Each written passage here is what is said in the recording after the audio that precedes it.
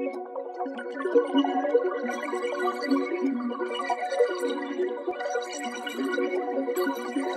down. I'll just call Robert. Thanks, Nova.